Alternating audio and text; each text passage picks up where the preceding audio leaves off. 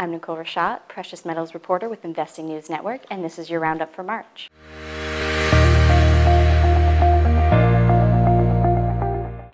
March was a relatively steady month for the precious metals once again.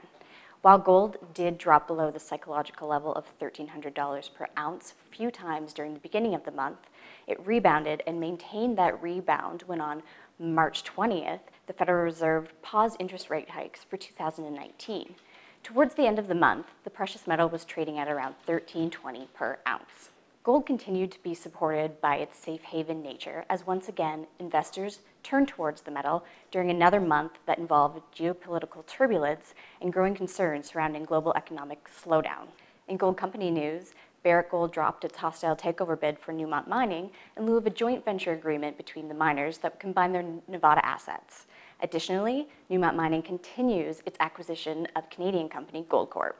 As for silver, March was another month where the metal re remained relatively flat, but it did stay above the $15 per ounce threshold, and many analysts do believe that it is primed for an upward trend.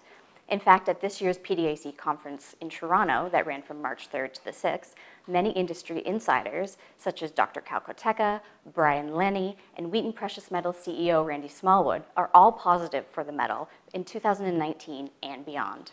Don't forget to check out all of our PDAC coverage on our YouTube channel for other interviews with industry insiders such as Rick Rule, Adrian Day, Darren Blasutti, and Jim Gallagher. Speaking of Jim Gallagher, CEO of North American Palladium, Palladium had another record-setting month in March.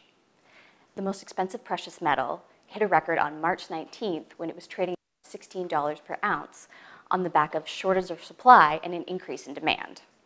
Currently, the metal is trading around $15.50 per ounce. And that's your precious metals update for March. Make sure to check back next month to see what happens in April, and don't forget to follow us on Twitter, Facebook, and LinkedIn.